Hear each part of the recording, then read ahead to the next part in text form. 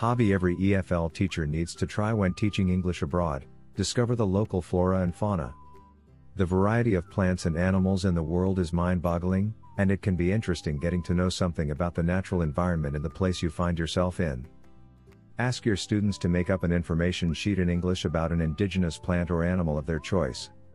For example, when in China, be sure to visit the famous panda research base in Chengdu to watch the beautiful Asian bears in their natural environment. Also be sure to check out your host country's variety of national parks and reserves. You'll quickly realize that there is truly a lot to do outdoors on weekends or in your spare time. Thanks so much for watching.